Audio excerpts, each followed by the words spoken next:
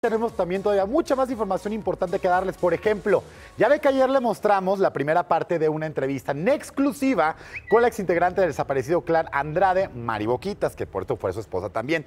Y reveló que hará una serie sobre su vida. Ahora confesó cómo ha logrado lidiar con tantas muestras de odio hacia ella. Miren nada más. María Raquenel contará su vida a corazón abierto, pero pretenderá generar conciencia en el difícil camino que le tocó vivir. Yo ya no me pude ayudar, ya a mí ya me pasó, bye. Y lo sigo padeciendo. Lo que quiero es tratar de ayudar a aquel que se deje este, escuchar, ¿no? que, lo quiera entender como por con la intención que este proyecto viene y que en algún momento pueda yo ayudarle a evitarle una pena como la mía. Con la frente en alto pero vulnerable, Mari Boquitas destapará heridas latentes de aquella niña a la que sus sueños le fueron arrebatados abruptamente, al verse inmersa en uno de los escándalos más sonados en Latinoamérica hasta el día de hoy.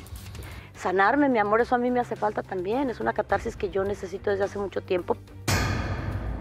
Normalmente las pocas declaraciones que yo he dado es como eh, prácticamente lo mismo o aclarar lo que se sabe pero acordarte de lo, decir lo que realmente nunca has dicho, es, literal, te lo juro, volver a vivirlo. Es, es, una sensación y también me ha pasado, y supongo que cuando ya empiece a escribir y todo, me va a pasar más.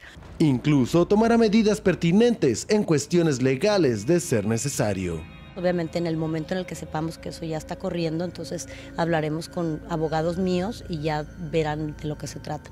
Mira, este, ni cuando yo salí, que este que fui sentenciado, o sea, mi, mi, mi título fue inocente y que salga de inmediato porque no tiene por qué estar aquí. Juzgada por muchos, escuchada por pocos, Raquel defenderá su vida, su historia, contará de fondo y sin límites. Será su voz la que de una vez por todas destape su verdad. La gente odia de oídas. Y sí es cierto, la gente de lo que oye ya te odia y ni siquiera te conoce. Y deja tú que no te conozca, porque también pues, no, no tengo por qué que me quiera todo el mundo. Pero de pronto si dices que es una de las ideas de esto, es ok. ¿Quieren saber? Ahí va.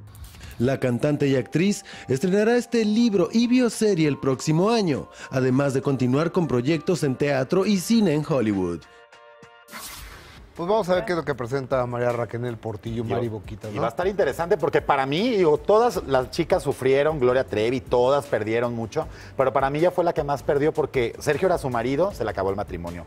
Nunca despuntó una carrera, aparte de todo el sufrimiento que hemos visto eh, que pasó, nunca pudo ser mamá fue una mujer que sí le entregó mucho a una persona que le hizo perder absolutamente todo. Yo creo que va a estar muy, hasta la, su libertad incluso. El, proyecto, por lo menos eh, yo creo que se vendió muy, muy bien. Entonces su retribución económica, por supuesto que, la tiene, ¿no? Con, el libro y con la serie. cosa, ¿cómo podrá vivir un tipo tan abominable como Andrade, que entiendo y según me han dicho, yo no lo puedo corroborar, pero que sigue dando clases y se anuncia en Cuernavaca a niños y tiene lleno. que los papás o, a los niños. Hay, hay, que ir, hay que ir, hay que ir y seguramente después de lo bien que me expreso del asqueroso ese, pues no nos va a recibir, ¿verdad? Pero pues puedo ir con una cámara escondida y, preguntar a los papás, oigan, ¿en qué cabeza cabe traer a su hija aquí?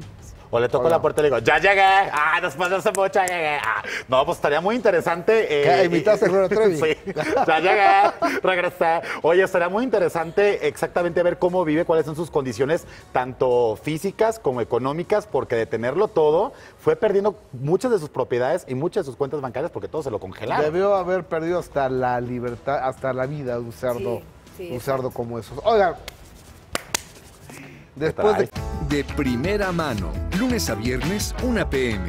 Participa en Imagen Televisión.